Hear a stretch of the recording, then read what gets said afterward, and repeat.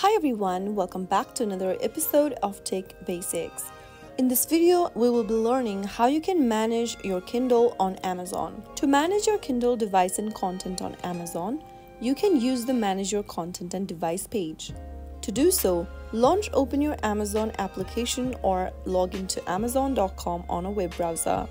After you are logged into your account either way, go ahead and tap on your profile icon which should be located at the top right or the bottom of the screen. Now after you open up your profile icon, scroll down and look for the option where it says Manage Content and Devices under your account. Make sure that you are tapped on the Content tab at the top left and in the Content tab you will see the list of all the Kindle contents linked to your account, which can be ebooks, audiobooks, etc. Select the content you want to delete by tapping on it and then click on the see more button right under the book. Now you can go ahead and deliver or remove the book from your device, delete the book, mark it as read, add or remove from collection and clear furthest page read. Select any one option that you want to manage your content with.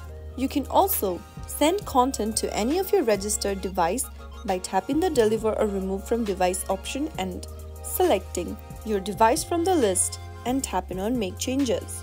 You can also use the search box at the top and search for a particular content from your library. If you want to create bulk actions, simply go ahead and tap the select all button at the top and click on bulk action at the top left. Now you can go ahead and manage your Kindle content. If you want to go ahead and manage your devices, click on the devices tab at the top and you will see a list of devices such as Kindles, smartphones, tablets registered to your account. Select the installed devices and then to deregister a device, tap on deregister from the option. Click on the more actions button and you can also view your device's content or set it up as a default device. Similarly, you can also rename your devices for easier identification. Tap the edit button right next to your device, right here, and rename your device's name. After typing in your device's name, you can tap on save to save the change. The Preferences tab at the top of the screen allows you to manage account settings related to your Kindle experience.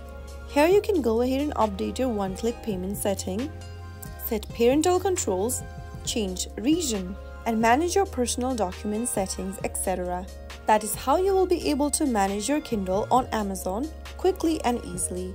If you found the video to be helpful, go ahead and give us a thumbs up. Don't forget to subscribe to our channel by hitting the subscribe button. Press the bell icon so that you'll never miss another upcoming upload from us. I will be back again in the next video. Thanks for watching.